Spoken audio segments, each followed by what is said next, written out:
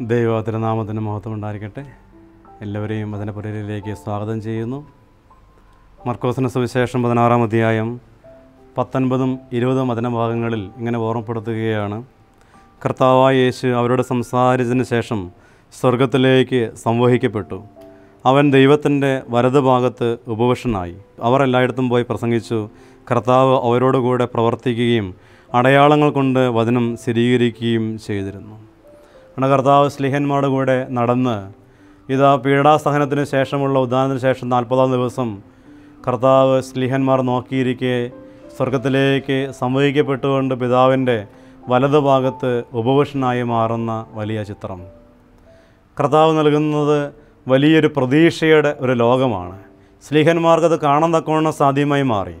അവൻ അവരോട് കൂടെ നടന്ന് താൻ പറഞ്ഞ വചനങ്ങളും കാണിച്ചു തന്ന ജീവിതങ്ങളുമെല്ലാം സത്യമാണെന്ന് വചനങ്ങളിലൂടെ അടയാളങ്ങളിലൂടെയൊക്കെ അവൻ സ്ഥിരീകരിക്കാനിടയായി തീർന്നു എന്നുകൂടി ഈ വചനഭാഗം നമ്മെ ഓർമ്മപ്പെടുത്തുകയാണ്.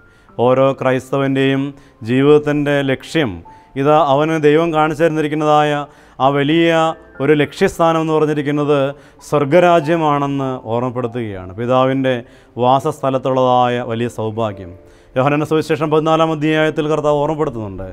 ഞാൻ നിങ്ങളോട് കൂടെ നിന്ന് കടന്നു പോകുമ്പോൾ എന്നേക്കും ആയിരിക്കേണ്ടതിന് വേണ്ടി പിതാവിന്റെ സന്നിധിയിൽ ഒത്തിരി കൂടാരങ്ങൾ ഞാൻ നിങ്ങൾക്ക് വേണ്ടി നിർമ്മിക്കും. അവിടെ ഒത്തിരി വാസസ്ഥലങ്ങളുണ്ടെന്നെല്ലാം കർത്താവ് ഓർമ്മപ്പെടുത്തുന്നുണ്ട്. അതുകൊണ്ട് തന്നെ നമ്മുടെയൊക്കെ ജീവിതങ്ങളിൽ എന്നും ഇതാ ഈ ഒരു സ്മരണ.